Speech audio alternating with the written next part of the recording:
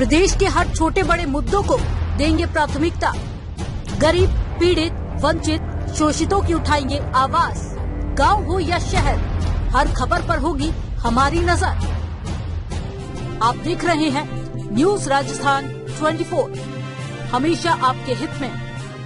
आसपुर में दो दिन से बारिश होने से किसानों की बुवाई की पकी पकाई फ़सल हुई नष्ट। क्षेत्र में बीते दो दिनों से चल रही बारिश ने खेतों में जमकर फ़सल को खराब किया। किसानों ने खराब हुई फ़सलों में गिरदावरी करवाने व मुआवजे की मांग की। किसान उदय सिंह तोकवासा ने बताया कि आजीविका का मूल स्रोत खेती है। अपनी आजीविका के लिए किसान वर्ग खेती पर निर्भर। पूर्व में हुई बरसात व हाल में हो रही बरसात से किसानों की फ़सल चौपट हो गई है। खेतों में जलभराव के कारण पशुओं के चारे की समस्या हो रही है। मक्का मूंगफली उड़द चावल की फ़सल में अधिक खराबी हुई है। फ़सल खराब होने के कारण काश्तकार सरकार से मुआवजे की मांग की।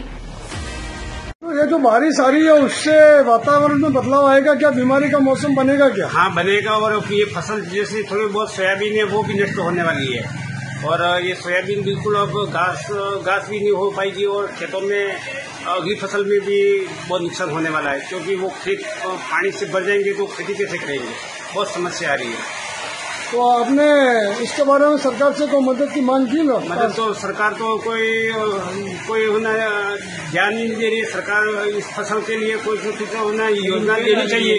पर कोई दे ही नहीं पा रही है। सरकार होना नहीं तो इससे इतनी बारिश हुई इतना फ़सल नष्ट हुई तीन तीन बार सोयाबीन फ़सल बोई।